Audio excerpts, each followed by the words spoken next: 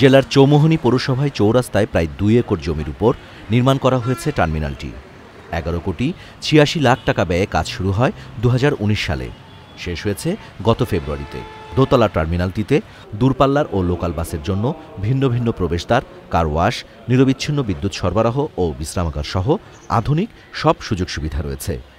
আমরা এগারো কোটি ছিয়াশি লক্ষ টাকা ব্যয়ে নির্মাণ করেছি। এখানে তিনটে জিনিস আছে। আমাদের একটা টার্মিনাল প্রায় বারো হাজার বর্গফুটের টার্মিনাল। পেছনে আছে আমাদের একটা সার্ভিস বিল্ডিং আছে।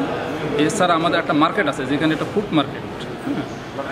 এবং আমার আভ্যন্তরীণ যে রোড আছে, এখানে ড্রেন নির্মাণ টার্মিনালটা হওয়াতে নারীদের অনেক সুবিধা হয়েছে। যেখানে ওয়াশরুম আছে বা এখানে বসার জায়গা আছে, এখানে খুবই মানে নিরাপদ একটা জায়গা।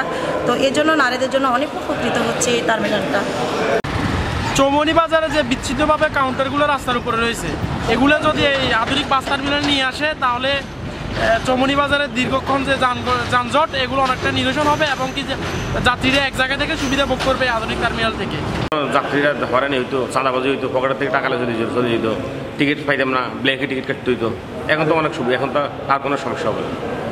পৌর কর্তৃপক্ষ আশা করছে টার্মিনালটি নির্মাণের ফলে এই অঞ্চলের প্রধান বাণিজ্যিক কেন্দ্র, চৌমোহনীর যানজট নিরসন এবং আর্থসামাজিক ব্যবস্থা পাল্টে যাবে।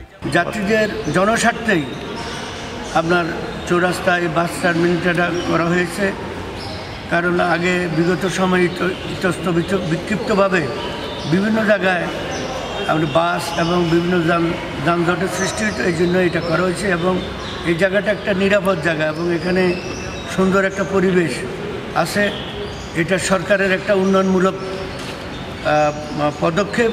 এই পৌর বাস টার্মিনাল হওয়ার সাথে সাথে অতর এই অঞ্চলের আর্থসামাজিক অবস্থারও বিরাট ধরনের পরিবর্তন হবে। যাত্রীদের যাত্রী সেবার যেমন মান বাড়বে, তেমনি আশেপাশের এলাকার ব্যবসা বাণিজ্যের গতি বৃদ্ধি হবে, আশেপাশে এলাকার জমির দাম বৃদ্ধি পাবে এবং এই এলাকায় একটি উন্নত একটা, সমৃদ্ধ একটা আলাদা স্যাটেলাইট সিটি তৈরি হওয়ার একটা সমূহ সম্ভাবনা সৃষ্টি হয়েছে। টার্মিনালটির মাধ্যমে আধুনিক যাত্রী পরিবহনের নতুন দ্বার উন্মোচন হয়েছে বলে মনে করছেন Noakhali জেলাবাসী। Rajib Ahmed channel I